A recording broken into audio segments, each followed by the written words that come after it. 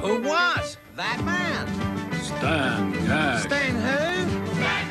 Hi, Mark here from Stan Cash. When it comes to hair, I'm not an expert, but Vidal Sassoon are. So that's why today I brought in Christina from Vidal Sassoon and she's going to be talking to us about the Vidal Sassoon hair rollers. Thanks So- for coming in. Thank you. Thanks for having me. Um, so what we're going to be talking about here is these hot rollers.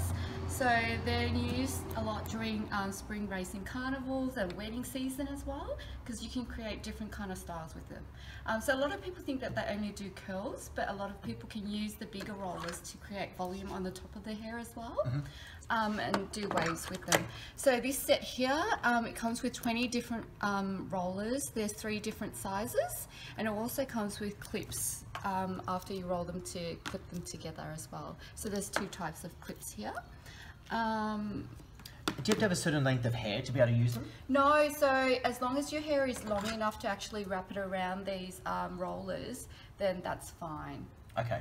And what sort of age of you know girls do you find that are using these sort Um, so people are my age or older, the older generation, where um, they have those tight little curls that they like to sit there and sip their tea with, and just wait until it cools down completely, then take it out. And how long would it take? So if somebody puts it into their hair, how long would it take to set? So it'll take anywhere from 30 to 40 minutes, or um, 20 minutes if you're just using it for just to do the volume and not really a curl.